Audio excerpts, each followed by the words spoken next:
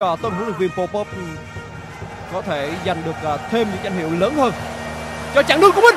Đã rất căng và bàn thắng đã đến với đội khách Đồng Á Thanh Hóa. Để ờ, có thể giúp cho tân huấn luyện viên Popov ừ, có thể giành được ờ, thêm những danh hiệu lớn hơn cho chặng đường của mình. Đã rất căng và bàn thắng đã đến với đội khách Đồng Á Thanh Hóa. Quá tuyệt vời. Đã căng như kẻ chỉ của Bruno.